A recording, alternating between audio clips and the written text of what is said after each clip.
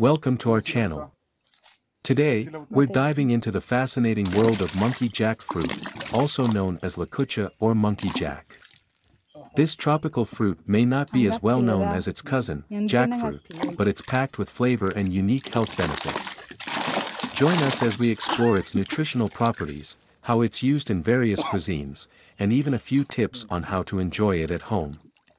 Let's get started.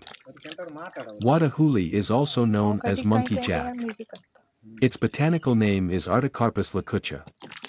Because of the sour taste of this most commonly used in Indian cousins mainly in fish curries in coastal region. It is better than mango and tamarind in terms of taste and health. It is a deciduous tree which grows in tropical and warm climates.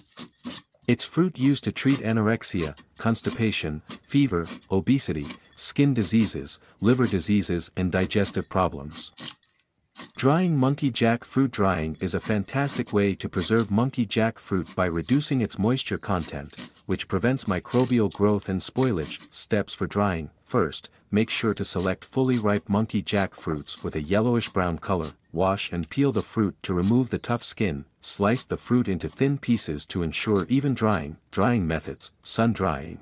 Lay the slices on clean trays or mats and place them in direct sunlight for 2 to 5 days.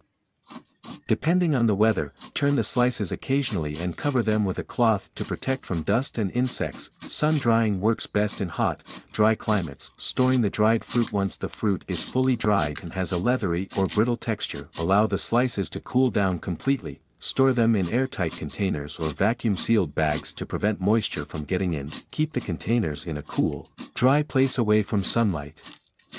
Properly stored, Dried monkey jack fruit can last 6 to 12 months. Uses of dried monkey jack fruit you can rehydrate the dried slices by soaking them in water, making them suitable for cooking with curries. Dried monkey jack fruit also makes a great tangy snack on its own. You can grind the dried slices into powder and use it in soups or traditional medicine. Additional preservation method. Freezing is another option for preserving monkey jack fruit.